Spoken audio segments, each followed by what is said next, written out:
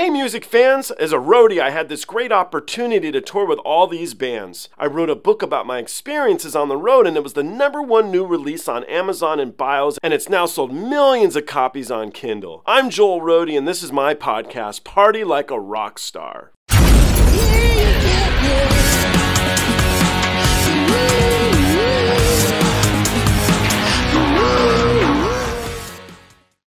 Oh wow, we got a full blown live drum solo. Oh, yeah. This is the last episode with my friend Ryan Hoyle. Ryan was the drummer of Collective Soul for six years. He also toured with Paul Rodgers from Bad Company. Drummers love their drum solos, so he gets a little overexcited on this one, makes big deal out of it. Drummers pain butt. it's good he enjoyed it. This was actually a really cool solo. I'd never seen Ethan do a drum solo, and uh, it's it's pretty cool actually. He's he's really good. So, we're going to do this together. If you want to learn more about Ryan, if you're interested in booking studio time, recording stuff, you can do so. Through his website, you can get a hold of him at livedrumtracks.com. If you want to just learn more about him as a person, I did an interview with him a while back with his friend Jason Sutter, who's also an amazing drummer. You can check that out here. Anyhow, without further delay, because my friend Ryan is eager beaver he was, let's check out this drum solo by Måneskin's drummer, Ethan. Okay, so this is Ethan, who is the drummer of Måneskin, and I have never heard him do a drum solo, I don't believe. So I'm going to be able to do it with you. I've never watched this, so hopefully it's a good performance and we get to hopefully the it looks like it's a camera phone, so hopefully it's cool. But anyway, let's give it a go. All right. Drum solo, drum solo, drum solo. We got some theatrics.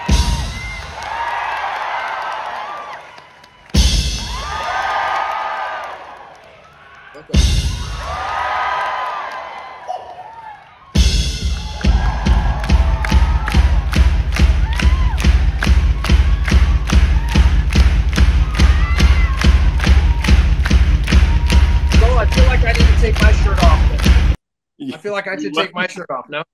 No, no. Um, hey, the ratings will go up.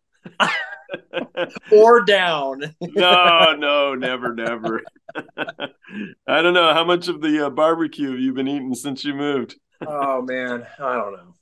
Yeah, but I think it's cool so far that, it, that he's got his singer support. Like a lot of times, the drum solo is just kind of an excuse for people to take a break and be like, "I'm out." But he's uh, i'm sure they got something planned but it's very cool to see the singers adoration for the drummer. That's so important. Nice. Yeah. Well they were uh, street buskers in rome and so they've been performing together since they were little kids on the street. It's kind of neat. You can actually find a couple videos of them performing as buskers and they look like they're in high school. So kind of cool. Very cool. Yeah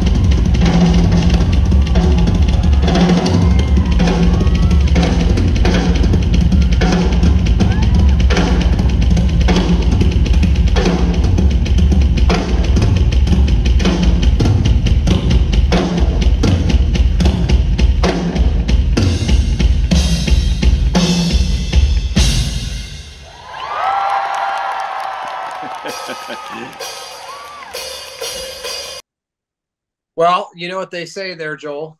What's that? It's not necessarily the size of your rig, but it's how you work it. He's good. You know, he's got a four-piece basic drum set there and got so many different voices going and got kept the crowd into it. I think one of the highlights for me again is just seeing his band rally around him. Yeah, that was neat. Uh, it's true. It's a good time to take a break, and they didn't break at all. They were dancing on the stage. it's cool. I think that's cool, and that's a testament to the fact that it was a pretty musical drum solo. Yeah, you know, it had a sort of groove to it for most of the time, and and so people could relate to it. It wasn't just a mess of notes all the time. Yeah, and that dude hit hard, man. What's that? I felt like a Spanish vibe, something like that going on in there. I don't know. It's just my head. Well, with the cowbell, there was definitely like a Latin sort of salsa Mozambique sort of vibe, even though that's African, but they all come together. They all come from the same thing. But yeah, and he he had the audacity to do a full blown cowbell solo. I mean, how can you beat that? You can't. You can't. all right, my friend. Thank you for your time, man. It's appreciated. And I look forward to talking to you soon. Yes. Thank you, Joel.